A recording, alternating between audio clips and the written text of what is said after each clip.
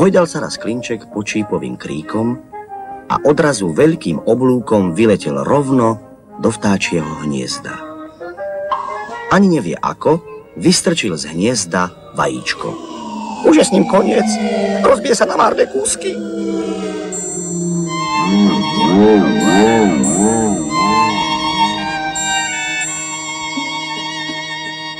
Aké šťastie, klinček. Mohla z neho ostať iba praženica. Najprv ho musíme vyslobodiť z pavučiny.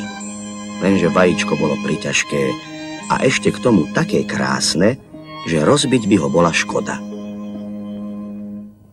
Keď ja skáčem do periny, tiež sa nerozbijem.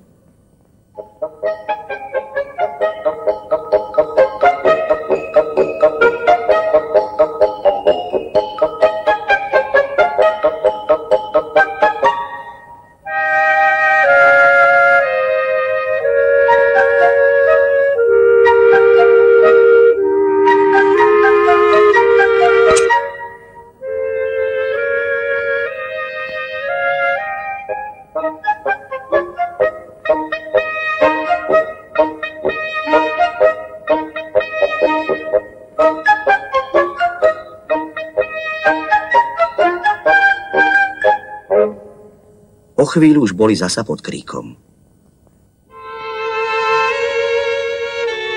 Uplietli strávy na skúšku krátky rebrík.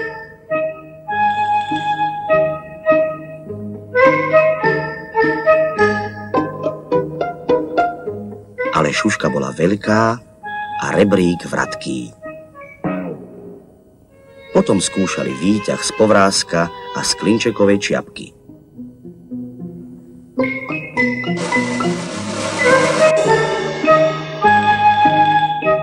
Veľa dní presedeli na kopci bez slova a ustavične premýšľali, čo robiť.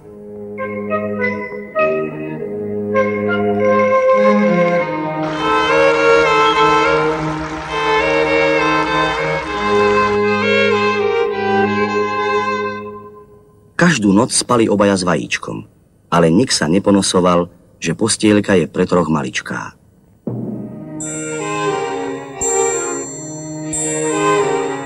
Niekedy počuli, že vo vajíčku čosi ťuká.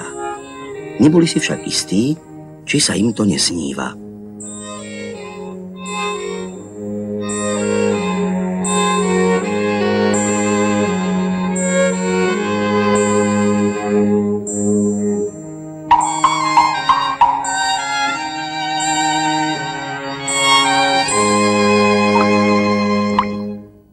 Pozri sa, chuderka plače za vajíčkom. Prinesieme vajíčko pod ker a priznáme sa, čo sme vyviedli.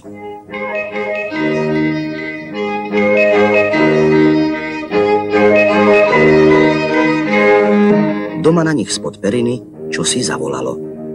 Píp! Najprv iba oči vyvalili, ale odrazu začali od radosti tancovať a vystrájať. Niekoľko dní vtáčika krmili, znášali mu dobroty od výmyslu sveta.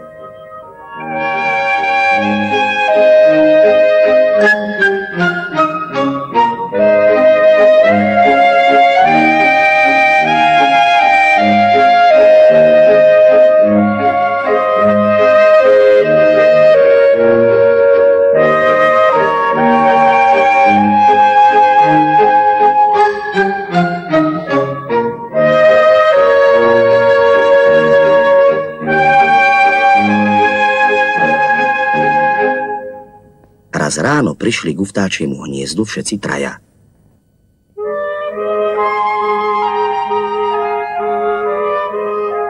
Synček si k mamičke vykračoval ako bohatier. Bolo, že to radosti. Nehnevajte sa na nás. Prišli sme vám vrátiť vaše vajíčko.